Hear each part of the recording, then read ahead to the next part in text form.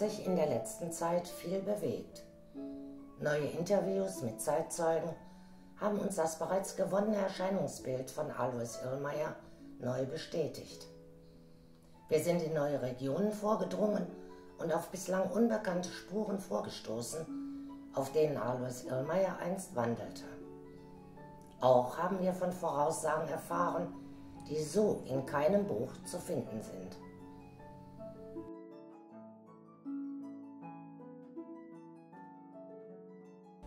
Du sitzt jetzt her und du magst fragen.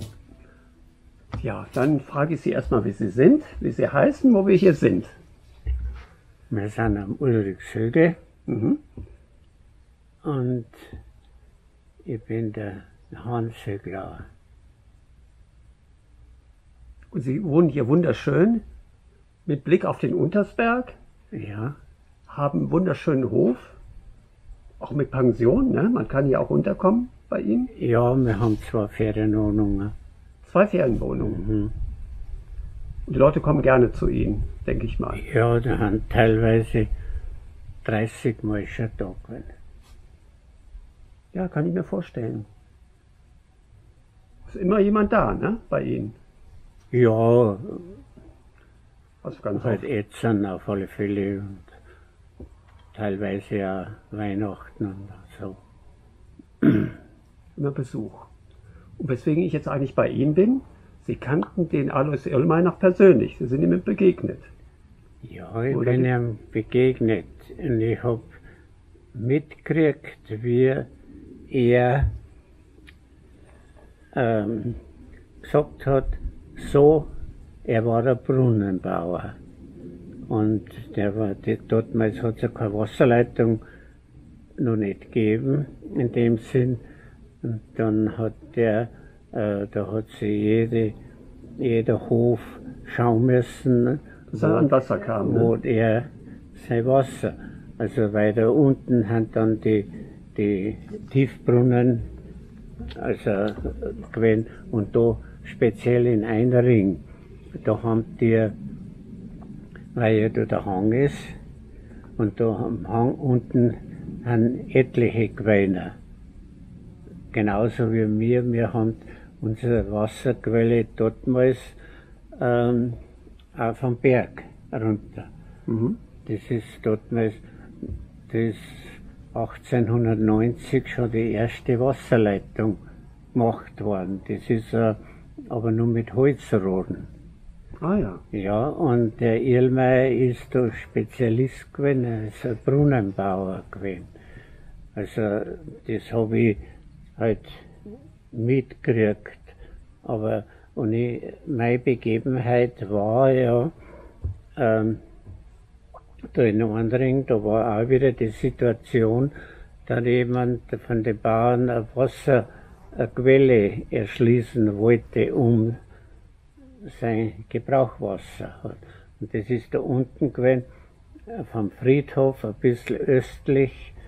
Ähm, das ist jetzt alles verbaut oder ganz anders. Und da hat sich das ereignet. Da haben die gesucht um die Quelle. Und mein mein Großvater war Sprengmeister. Mhm. Und der, ich bin dann, halt, der ist halt immer, der ist ein Oberhügel daheim gewesen und meine Mutter ist da oben daheim und der ist ja bei uns halt da gewesen und dann äh, bin ich mit halt als Kind, als Bub da mitgelaufen, weil ich, das ist ja was Besonderes gewesen. Ja, natürlich. Ja, und dann ist da unten gewesen und da ist der Irlmeier da gewesen. Ich habe aber das nicht gewusst, dass das der Irlmeier ist. Und dann haben die, hat der ihm gesagt, die haben dem auf, also Gruben aufgemacht, halt, wo, und dann ist kein Wasser gekommen.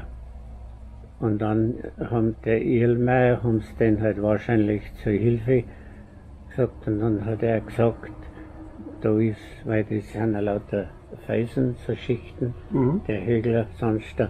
Und hat gesagt, hinter der Felsenschicht ist Wasser. Und, und, hat er mit der Route gemacht oder hat er das so, so? Das weiß ich nicht. Aha. Das weiß ich nicht. Also auf alle Fälle. Und dann hat natürlich mein Großvater kommen müssen und hat die Stor weggesprengt. Ah ja. Ich weiß nicht, der ist der Spezialist gewesen für so Sachen. Konnte so präzise Sprengungen anbringen, ne? Ja, und, und dann hat der die Ladung also das ist auch ganz gezielt gesprengt worden und dann ist das, und dann ist Wasser gekommen. Und dann ist der Erlmeier heraus und so dort gestanden und hat gelacht und hat er gesagt, und er hat doch recht gehabt. Und das habe ich äh, als Kind so in Erinnerung, aber ich weiß dann von Erlmeier eigentlich nur von Erzählungen, was halt er gesagt hat, weil da ist er dortmals äh, oft ähm, so gefragt worden von Leid, von Vermissten oder von Gefangenen, lebt ihr noch, kommt ihr noch, aber das ist ganz was anderes. Ich habe den als Brunnenbauer kennengelernt. Brunnenbauer und Spezialist für Quellen. Und was war das für ein Mensch? Was war der Irlmeier für ein Mensch? Wie? Ein ganz normaler, einfacher Mensch. Kein besonderer. Mit seinem Hut? Ein Hut hat er. Und eine Pfeife. Eine Pfeife? Ja, hat er gehabt, so. Mhm. Wie, wie, kam er? Kam er mit dem Fahrrad oder mit dem. Das weiß ich nicht. Das nicht. Mhm. Oder ist er zu Fuß gekommen? auf alle Fälle da bei der Baustelle oder wo man, da war er zu Fuß dort. weil wir Fuß. sind auch zu Fuß hingegangen und wir haben uns da getroffen und dann ist das, das, also ich kann mich noch gut erinnern, wie der das gesagt hat. Er hat recht. Er hat recht gehabt. Oder bestätigt, ne? Ja, und das, das ist eine Bestätigung gewesen, damals, ähm, dass er sein Wissen und Können bestätigt. bestätigt. Weil das war ja nicht einfach, wenn da noch Felsen waren, die weg, weg, ja, weggesprengt werden der mussten. Hat das, ne? Der hat das so überschauen können, dass da die Felsen lassen hinter der die das behindern. Man musste sie erstmal wegsprengen, damit man, da, man ans Wasser kam. Damit es ans Wasser kam. Ja. Und das hat geklappt. Und hat hier viele Brunnen gelegen. Also irgendwie ja, der hat viele, viele Brunnen. Immer wenn es kompliziert geworden ist, dann haben sie den Erlmeier geholt. Sonst haben sie es selber probiert. Und dann klappt es nicht und dann haben sie ihn geholt. Ja, so ist es. Also speziell Brunnenbau. Ja. Und das andere noch dazu halt, ne? Ja, die, da war es ja. weniger, aber das ist halt meine Erinnerung an Irlmeier und das war, ähm, ja, ich habe den so gut, also ich war dort mal vielleicht zehn Jahre alt, oder zwölf, zehn, sowas, und das ist die Erinnerung, äh, das Können und Wissen von dem Mann. Das hat mich einfach fasziniert. Das haben Sie bis heute nicht vergessen. Na, das habe ich nie vergessen.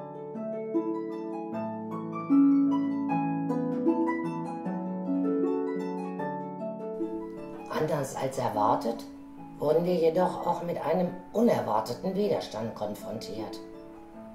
Einigen Personen ist offenbar nicht daran gelegen, dass in Freilassing ein Denkmal für Alois Irlmeier aufgestellt wird.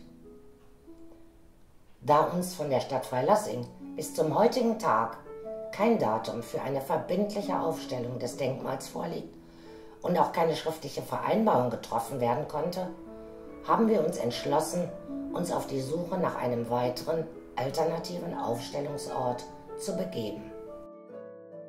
So führte uns unsere Reise auch nach Schönramm. In dem kleinen Ort nahe Freilassing hat Alois Irlmeier einen Brunnen gegraben und ist zur Mittagszeit in das Bräustübel eingekehrt. Der Brauereibesitzer zeigt großes Interesse, auf dem Grund der Brauerei ein solches Denkmal aufzustellen. Äh, wir sind heute in Schönram, in der Brauerei Schönram. Und hier hat sich eine weitere Möglichkeit, so wie es aussieht, aufgetan, ein Alois Ollmeier Denkmal aufzustellen. Herr Oberlindhuber, Ihre Brauerei hat einen besonderen Bezug zu der Thematik Alois Irlmeier. Können Sie uns ein bisschen darüber erzählen? Ja, sehr gerne. Also wir haben bis vor, ich sage mal, bis vor kurzem haben wir selber nicht gewusst, dass das Thema Irlmeier bei uns in der Brauerei äh, zugang, also da war. Wir haben einen neuen Antrag für Wasserentnahme gestellt beim zuständigen Landratsamt, Wasserwirtschaftsamt. Und da haben wir die alten Pläne von unseren Brunnen neu, also nicht aufgerollt, sondern mal genauer angeschaut, wie damals gezeichnet worden ist, wie die Pläne damals gemacht worden sind. Und da sind wir auf den Namen Irlmeier gestoßen.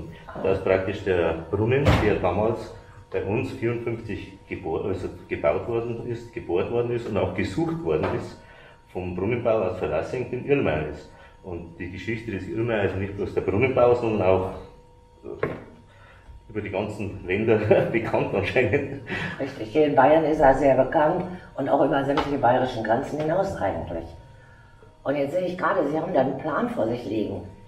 Ähm, Richtig. Das, das ist der Originalplan von Irlmeier gezeichnet, mit seinem Stempel und mit der, ich sage mal so, mit einfachen Zeichnungen, wie damals der Eingabeplan war beim Wasserwirtschaftsamt für die Entnahme des Wassers.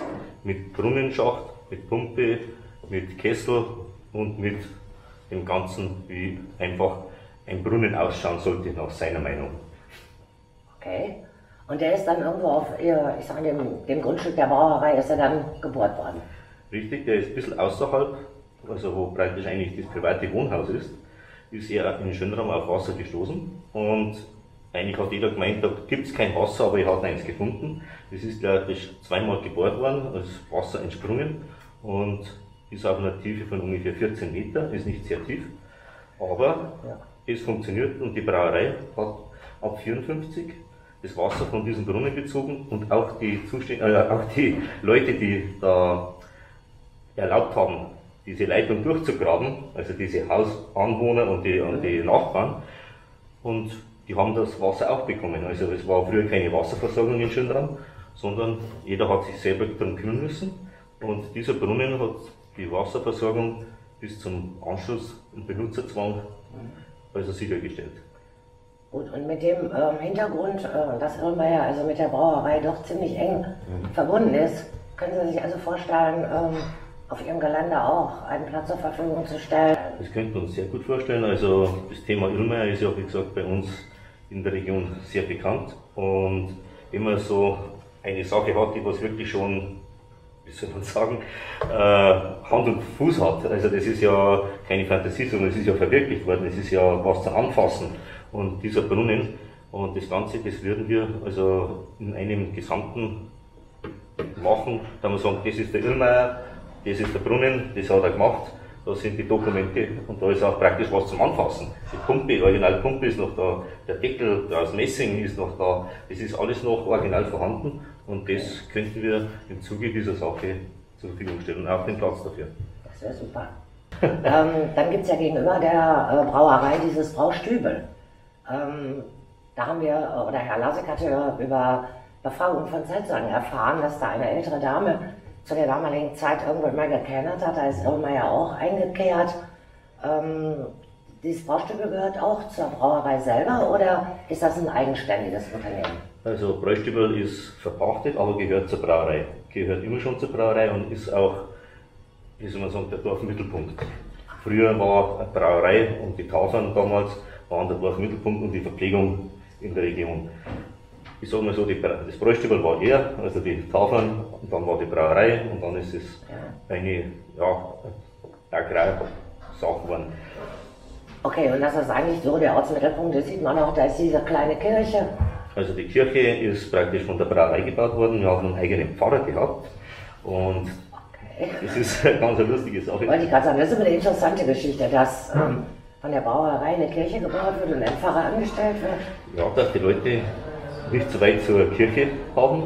Die sind ja täglich in die Kirche gegangen früher.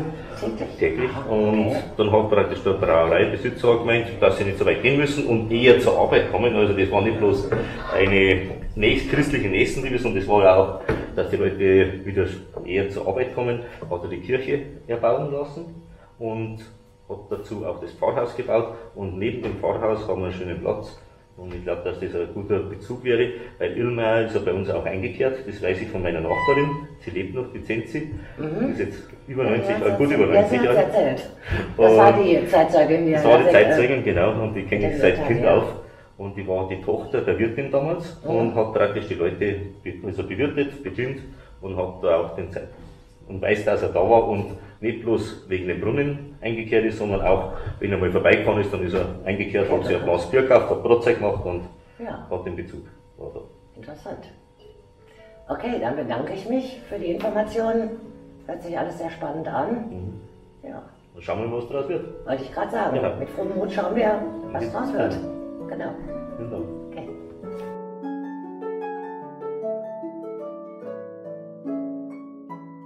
Alois Irlmeier war ein gottesfürchtiger Mensch und ein großer Marienverehrer. Sollte seine Seele noch unter uns weilen, wird er sehr darunter gelitten haben, dass seit Jahrzehnten keine Messe für ihn gelesen wurde. Auch dem haben wir Abhilfe geschaffen. Am 29. Juli 2023, dem Beisetzungstag von Alois Irlmeier, wurde in der Marienkirche in Salzburghofen von Pfarrer Banco eine Messe für ihn gelesen. Als Höhepunkt wurde eine eigens für diesen Anlass gefertigte Irrmeier-Büste von ihm gesegnet. Für diesen Akt der Ehrerbietung und Unterstützung möchten wir uns bei Pfarrer Banco herzlich bedanken. Ja, liebe Schwestern und Brüder, jetzt wird die Büste von Alois Illmeier gesegnet, die vom Verein aus Wuppertal gespendet wurde. Ich bitte jetzt die Frau Konne nach vorne zu kommen und ein paar Worte dazu sagen.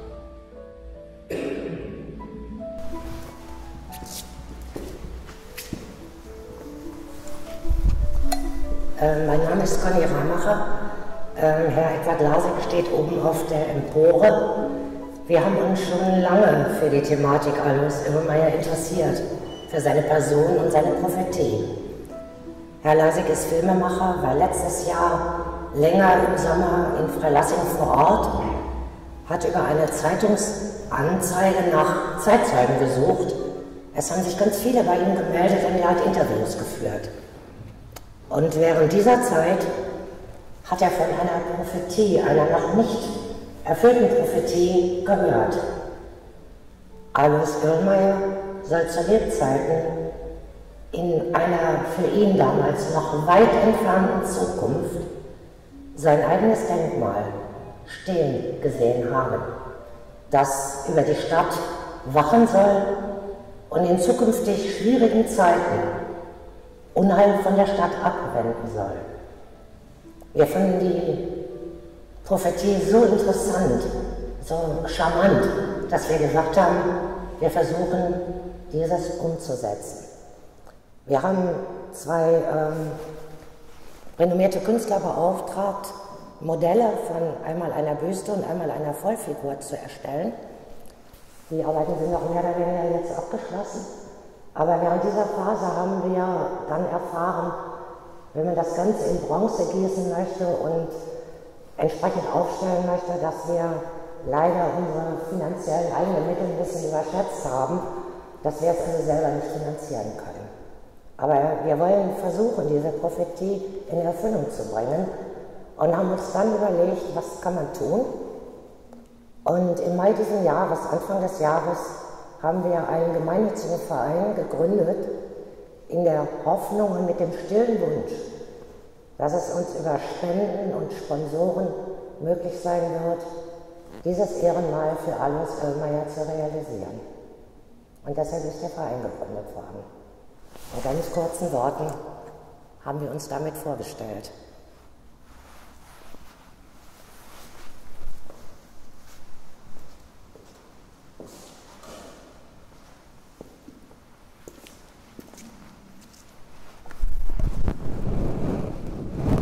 Der Name des Herrn sei gepriesen. Lass uns beten.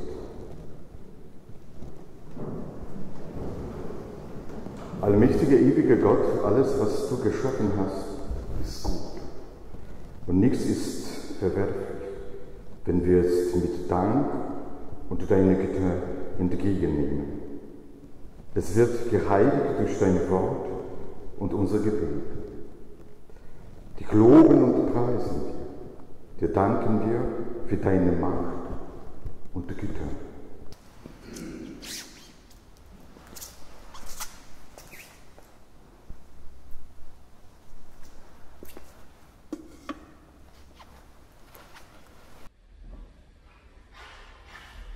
Für den Verstorbenen Alois Irtelmeier und alle unsere lieben Verstorbenen.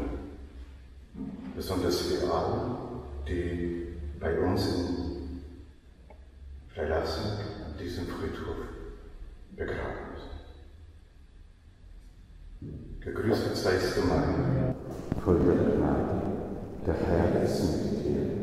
Du bist gebenedeit unter den Frauen und gebenedeit ist die Frucht deines Leibes, Jesus. Heilige Maria, Mutter Gottes, bitte für uns Sünder, jetzt und in der Stunde unseres Todes. Amen. O Herr, gib ihnen die ewige Ruhe. Lass sie ruhen in Frieden.